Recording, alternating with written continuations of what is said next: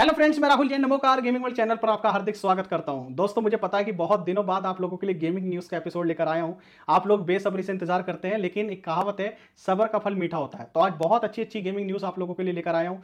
साथ ही आप लोगों के कुछ सवालों के जवाब भी हैं, वो भी मैं इस वीडियो में दूँगा तो वीडियो को एंड तक ज़रूर देखना।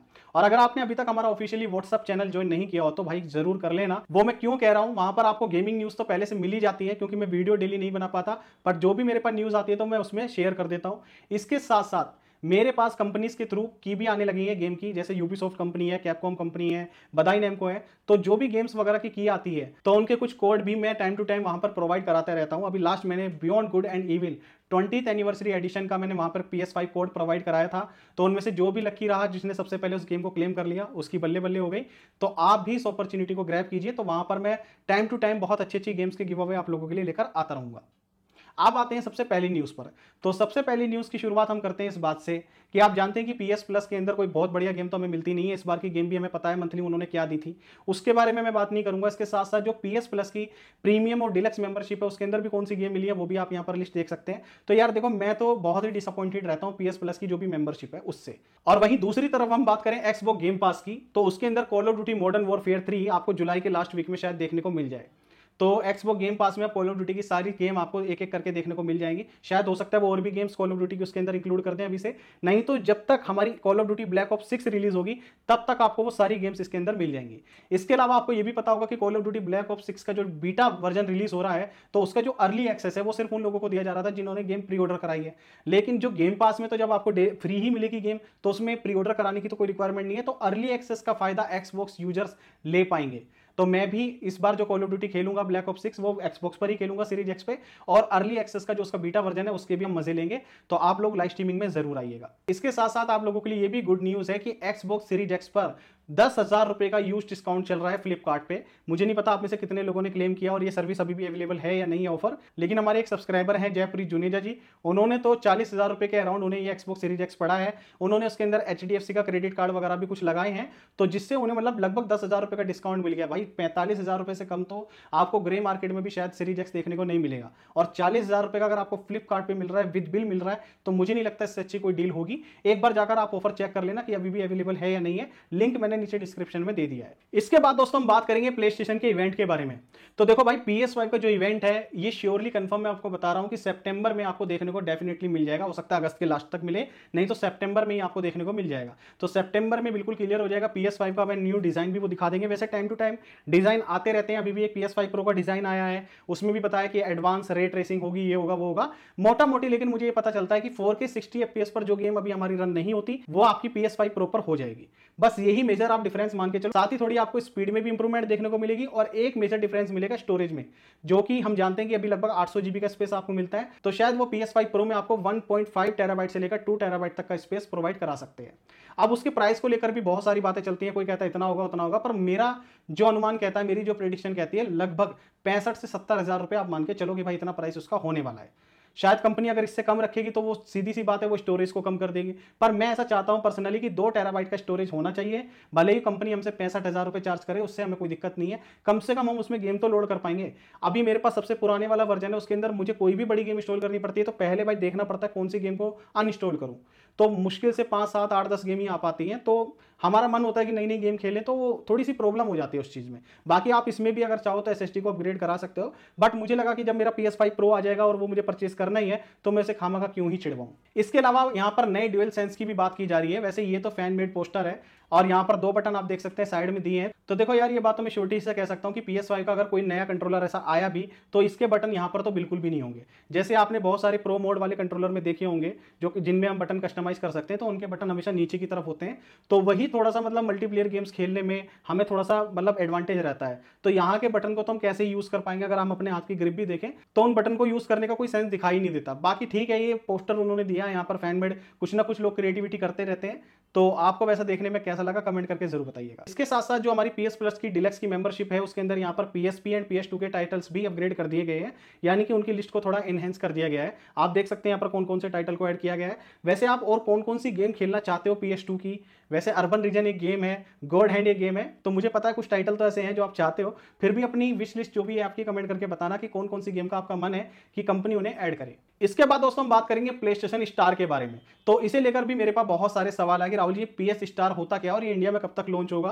तो पहले तो मैं आपको बता दूँ, ये जो पी एस स्टार है, ये एक तरह से उन लोगों के लिए सबसे ज़्यादा बेनिफिशियल है, जो डेली गेमिंग करना पसंद करते हैं। मतलब हार्ड कोर फ़ैन नहीं होते कि अगर हम कोई गेम की डिस्क ले आए, कोई गेम हमने परचेस की है डिजिटली या फिजिकली तो उसे हम पूरा निचोड़ेंगे पूरा चूसेंगे। यानी कि उसे हम प्लेटिनम ट्रॉफी अचीव करने तक खेलेंगे। जो भी ट्रॉफी हंटर है, खासतौर पर ये जो प्ले स्टेशन स्टार है, उन्हें ही फ़ायदा पहुँचाने वाला है। क्योंकि प्ले स्टेशन स्टार का मेन मोटो जो है कंपनी का लाने का वो ये है कि लोग प्ले स्टेशन पर ज़्यादा से ज़्यादा एंगेज रह पाए, ज़्यादा से ज़्यादा गेमिंग करें। ऐसा नहीं कि आपने सिर्फ़ एक घंटा खेला रख दिया। तो आपको एक तरह से बूस्ट करने के लिए कि भाई अगर आपने कोई गेम ली है तो आप उसमें प्लेटिनम ट्रॉफी अचीव करो और उस प्लेटिनम जितनी आपके पास प्लेटिनम ट्रॉफी होंगी गोल्ड ट्रॉफी होंगी तो उससे आपके कुछ पॉइंट्स बनेंगे। और उन पॉइंट से होगा क्या कि आप डिजिटली कोई भी गेम परचेस कर पाएँगे। तो बहुत ज़्यादा बेनिफिट वाली बात कुछ नहीं है उन लोगों के लिए जो कैजुअल गेमिंग करते हैं, लेकिन जो गेमिंग के बहुत बड़े कीड़े हैं, जो ट्रॉफी हंटर है, उन्हें स्कीम ज़रूर फ़ायदा देगी। अब ये इंडिया में कब लॉन्च होगी इसके बारे में कहना कुछ भी जल्दबाजी है।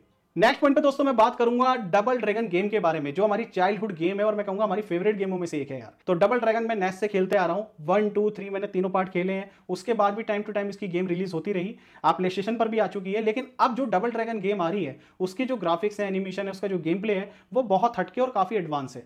तो मैं तो बहुत ज़्यादा एक्साइटेड हूँ इस नई गेम को खेलने के लिए। वैसे ये साल नहीं आएगी गेम ये आपको next year twenty twenty five में खेलने को मिलेगी, जो PlayStation Xbox and PC पर ही लॉन्च होगी। अब दोस्तों हम बात करेंगे टेकन एट गेम के बारे में। तो जैसे कि आप जानते हैं टेकन एट का जो सीज़न वन है, उसमें हमें चार कैरेक्टर मिलने वाले हैं, जिसमें पहला कैरेक्टर में एडी मिल चुका है समर में और दूसरा कैरेक्टर में मिलेगा पच्चीस जुलाई से, जिसका नाम है लीडिया वैसे इसका गेम प्ले आपको नमोकार गेमर चैनल पर देखने को मिल जाएगा। इसके साथ साथ इन्होंने यहाँ पर थर्ड कैरेक्टर भी रिवील कर दिया जिसका नाम है हियाची तो हियाची को हम सभी लोग बहुत ज़्यादा मिस कर रहे थे। टेकन एट जब लॉन्च हुई थी, उस टाइम पर भी मैंने बात कही थी कि हियाची को ज़रूर देंगे किसी ना किसी डीएलसी में, और वो इतनी जल्दी देंगे, ये मुझे भी नहीं पता था। तो हियाची आपको थर्ड डीएलसी कैरेक्टर के रूप में देखने को मिलेगा, वो मिलेगा आपको शायद अक्टूबर तक, और उसके बाद दिसंबर तक ही एक और कैरेक्टर को लॉन्च करेंगे। उसका नाम अभी तक रिवील नहीं हुआ कि वो कौन सा कैरेक्टर होगा। बाकी आप चौथे नंबर पर कौन सा कैरेक्टर टेकन में देखना चाहते हैं, वो भी आप अपनी विश लिस्ट मुझसे शेयर कर सकते हैं। और इसके साथ साथ ये भी खास बात बता दूँ कि जैसे आपको लीडिया कैरेक्टर मिला है, जिन्होंने भी डिलक्स एडिशन लिया था अल्टीमेट एडिशन लिया था तो यहाँ पर एक ट्विस्ट वाली बात यह है कि जिन लोगों ने प्री ऑर्डर कराया था तो वो तो इस कैरेक्टर को तीन दिन पहले खेल पाएँगे और जिन्होंने बाद में डिलक्स एडिशन परचेज किया है,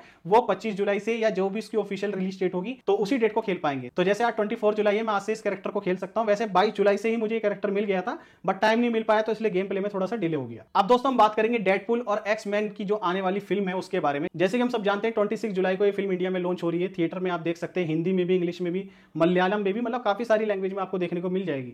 लेकिन बात यहाँ फ़िल्म की नहीं हो रही है, बात यहाँ हो रही है इसके गेमिंग कंट्रोलर की। तो एक्स बॉक्स के दो कंट्रोलर मैंने शायद पहले भी आपको बताया था। अब यहाँ पर ये पूरी तरह से रिवील हो गए हैं, यानी कि जो इस फ़िल्म के जो लीड स्टार कास्ट है, उन्होंने अपने हाथों में इन कंट्रोलर्स को लिया है, उनका एक तरह से प्रमोशन ही किया है, यहाँ पर दिखाया है, और ये बहुत ही लिमिटेड क्वांटिटी में बनाए गए इनकी जो प्रोडक्शन है। इंडिया में तो ये ऑफिशियली रिलीज़ नहीं होंगे, बहुत सारे लोग मुझसे पूछ रहे थे कि इसका प्राइस क्या होगा और इंडिया में कब तक लॉन्च होंगे तो इंडिया में तो ये लॉन्च नहीं होंगे, अभी तक तो ऐसी कोई उम्मीद नहीं है, बाकी बाहर का जो स्टॉक है, शायद वो कोई इंपोर्ट करके मंगाए और आपको महँगे प्राइस में दे तो वो ये ज़रूर हो सकता है। बाकी जहाँ तक मुझे लगता है, एक कंट्रोलर का प्राइस मिनिमम मिनिमम आपको दस हज़ार रुपए तक देखने को मिलेगा। बाकी मैं तो ये कहूँगा कि जो भी हार्डकोर फ़ैन है एक्सबॉक्स सीरीज़ एक्स जिनके पास है और जो एक मतलब लिमिटेड एडिशन के शौकीन होते हैं ना, जैसे हम आ कलेक्टर एडिशन रखते हैं गेम्स का तो उनके लिए तो दस हज़ार रुपए मेरे हिसाब से ज़्यादा मैटर नहीं करते। हाँ अगर आपको दो कंट्रोलर की डील पंद्रह हज़ार रुपए में मिल जाए तो भाई फिर मैं भी परचेस कर लूँगा। क्योंकि ये चीज़ ऐसी है, आपके पास जितनी पुरानी होगी, उतनी उसकी कीमत बढ़ती चली जाती है। अब लास्ट सेकंड पे दोस्तों मैं बात करूँगा जीटीए सिक्स के बारे में। जीटीए सिक्स न्यू ट्रेलर आपको बहुत जल्द ही देखने को मिल सकता है अगस्त के फ़र्स्ट वीक में। क्योंकि ऐसी बहुत सारी लीक आ रही है रूमर्स आ रहे हैं। जब भी कंपनी को कुछ ऐसा देना होता है ना तो वो उसकी हाइप बढ़ाने के लिए ऐसा कुछ ना कुछ करती रहती है। कहीं कुछ उसकी इमेज लीक करा दी, कुछ ऐसा करा दिया, जिससे उसकी हाइप बनी रहे। तो ये जितनी भी चीज़ें लीक होती हैं तो आप ऐसा कभी मत समझना कि ये कंपनी की तरफ़ से नहीं होती। 99 परसेंट ये जितनी भी चीज़ें होती है कंपनी ही कराती है। ये एक स्ट्रेटेजी होती है प्रमोशनल स्ट्रेटेजी कि हाँ किस तरह से देखो, एक मैं आपको एक और बात बताता हूँ। जब भी कोई फ़िल्म रिलीज़ होती है, क्योंकि यहाँ पर मैं बहुत सारी फ़िल्मों के पेड प्रमोशन भी करता हूँ, मुझे पता है। बहुत सारी फ़िल्मों का नेगेटिव रिव्यू इसी वजह से कराया जाता है, कि जिससे उसे पब्लिसिटी मिले। तो नेगेटिव पब्लिसिटी को भी पब्लिसिटी माना जाता है। तो ऐसा ही, आप जी के बारे में अगर कोई रूमर्स आ रहे निकल के कुछ भी आ रहा है तो आप ये समझ लो। कि बहुत जल्द आपको कुछ बड़ा खुलासा होगा। और अब लास्ट पॉइंट पे दोस्तों हम बात करेंगे गॉड ऑफ़ वॉर गेम की ट्रायोलॉजी के बारे में, जिसके बारे में मैं पहले भी बात कर चुका हूँ, लेकिन मैंने आपको बताया था कि शायद आपको फ़र्स्ट पार्ट देखने को मिले। बट अब सुनने में ये आया और ये बहुत ही स्ट्रॉन्गली रूमर्स है कि गॉड ऑफ़ वॉर की पूरी ट्रायोलॉजी आपको पी एस फाइव पर देखने को मिलेगी, जिसे रीमेक किया जा रहा है। शायद वो थर्ड पार्ट को रिमास्टर्ड करेंगे, क्योंकि थर्ड पार्ट के ग्राफिक्स बहुत ही अच्छे थे तो मुझे नहीं लगता कि उसे रीमेक करने की ज़रूरत है। अगर वो रीमेक करते हैं तो बहुत ही अच्छी बात है। बाकी गॉड ऑफ़ वॉर की ट्रायोलॉजी भी शायद आपको, जो नेक्स्ट अभी प्ले का इवेंट होगा, उसके अंदर उसका टीजर वगैरह देखने को मिल सकता है। तो दोस्तों, आप लोगों को कैसा लगा गेमिंग न्यूज़ का एपिसोड प्लीज़ कमेंट करके ज़रूर बताइए। अगर आप लोगों के कुछ सवाल हो जो आप मुझसे पूछना चाहते हैं तो आप पूछ सकते हैं कमेंट करके। बाकी जाते जाते मैं फिर से आपको रिमाइंड कराऊँगा कि फ़िलहाल मुझे लाइव स्ट्रीमिंग में आने का टाइम नहीं मिल पा रहा है। अगस्त मंथ से मैं थोड़ी सी कंसिस्टेंसी बनाने की कोशिश करूँगा, लेकिन आप फ़िलहाल फिर भी मेरे साथ कोई गेम मल्टीप्लेयर खेलना चाहते हैं, मेरे साथ टाइम टू टाइम कनेक्टेड रहना चाहते हैं तो इस टाइम पर मैं नमोकार गेमर चैनल पर थोड़ा ज़्यादा एक्टिव हूँ, क्योंकि वहाँ पर मैं फेस कैम के थ्रू नहीं डालता अपना कोई गेम प्ले जब भी मुझे टाइम मिलता है तो मैं वहाँ पर रिकॉर्ड कर लेता हूँ, बाद में उसकी पूरी इन्फॉर्मेशन आप लोगों को प्रोवाइड कराता हूँ। तो आप लोग नमोकार गेमर चैनल को प्लीज़ सब्सक्राइब कर लीजिएगा, अगर आप कोई भी मेरा नया गेम प्ले लाइव स्ट्रीमिंग देखना चाहते हैं तो। Bye take care